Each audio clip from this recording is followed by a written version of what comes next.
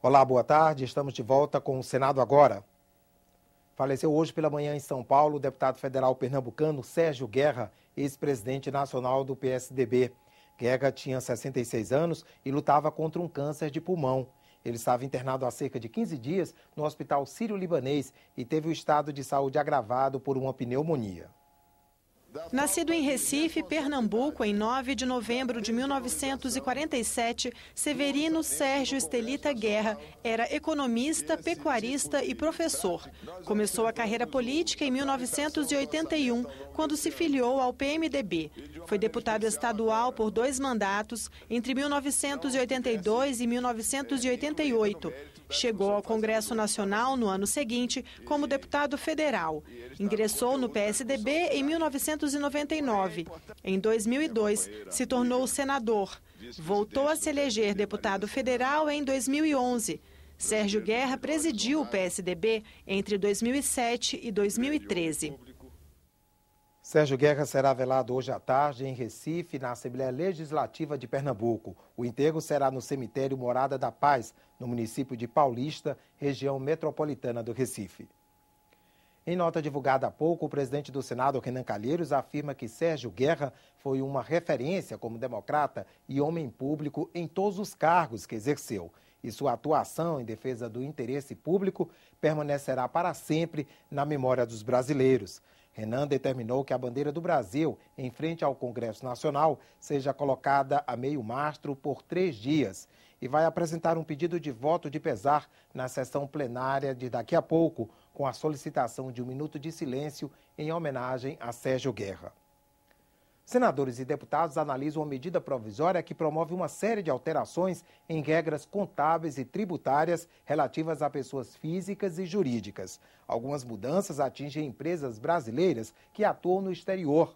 O texto já recebeu 513 emendas e foi debatido na semana passada com especialistas de diversas áreas. O relator da MP, deputado Eduardo Cunha, deve apresentar o relatório final na semana que vem. A medida provisória 627 de 2013 afeta diretamente as empresas brasileiras com operação no exterior muda a forma de tributação dos lucros obtidos pelas filiais que estão fora do país.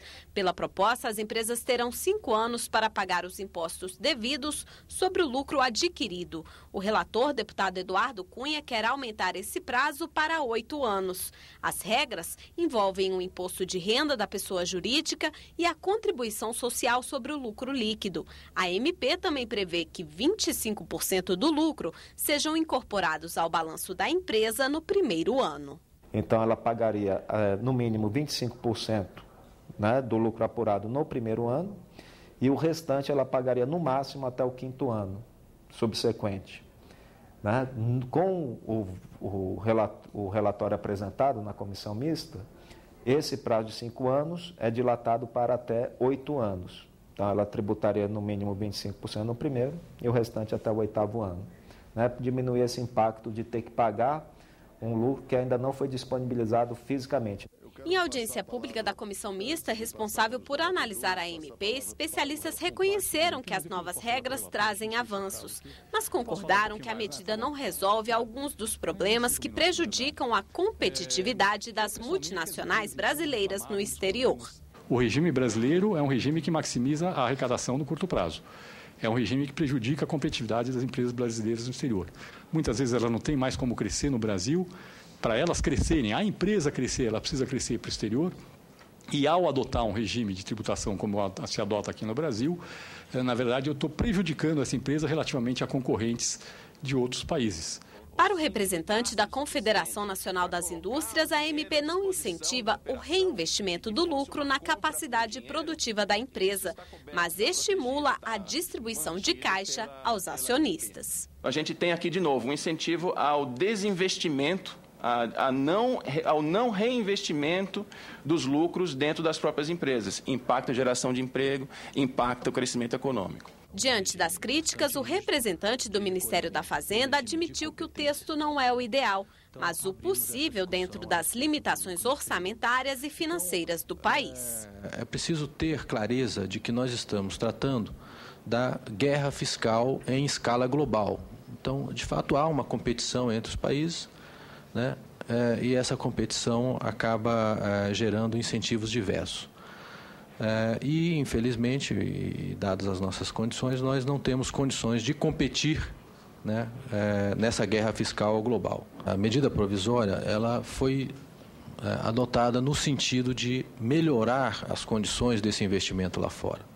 E ela representa, de fato, um grande ganho em relação à legislação anterior deputado Eduardo Cunha apresentou o relatório preliminar com alterações propostas pelos parlamentares. A expectativa é que o texto final seja divulgado no dia 11 de março. Até lá, o relator afirmou que poderá levar em consideração novas sugestões. Começam neste mês as videoconferências do Grupo Técnico de Trabalho da Comissão de Educação sobre o novo acordo ortográfico. O grupo vai reunir opiniões de especialistas em língua portuguesa, brasileiros e estrangeiros. O objetivo do grupo técnico é apresentar em setembro deste ano sugestões de simplificação que sejam consensuais para os países que fazem parte da Comunidade de Língua Portuguesa, a CPLP. Um dos objetivos é diminuir a quantidade de exceções. Nas regras de hífen, por exemplo, há guarda-roupa, guarda-chuva, mas há também manda-chuva, tudo junto, uma exceção. Palavras compostas por elemento de ligação deveriam perder o hífen. Pelo acordo, escreve-se cor de laranja e cor de café, mas cor de rosa com hífen é uma exceção. Retomar os acentos diferenciais extintos pelo acordo, como em para do verbo parar e forma. E há ainda sugestões como trocar CH por X. E palavras como chuchu, chuva e chulé seriam escritas sempre com X. O professor Hernani Pimentel, que faz parte do grupo técnico, foi a Portugal debater a simplificação das novas regras. O próximo passo é ouvir especialistas dos países signatários do acordo ortográfico.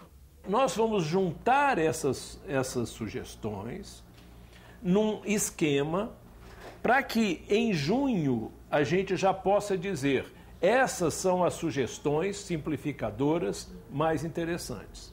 A Comissão de Educação do Senado, que criou esse grupo de trabalho técnico, né, não tem a intenção de ser contra o acordo.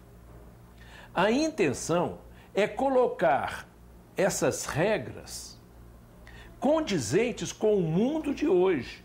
Foi um acordo definido a portas fechadas pela Academia Brasileira de Letras, sem a participação, por exemplo, dos professores de língua portuguesa. Então, veja só, é quem dissemina a difusão da língua. E sem uma participação maior da sociedade envolvida diretamente com a nossa língua. A implementação definitiva do acordo ortográfico no Brasil foi adiada para 2016. A Academia Brasileira de Letras lamentou a decisão e considerou um retrocesso o adiamento da entrada em vigor do acordo. Nada de propaganda por telefone ou substituição de candidato em cima da hora. O Tribunal Superior Eleitoral aprovou novas regras para a campanha deste ano. Veja o que muda. Os candidatos só poderão ser substituídos até 20 dias antes da eleição.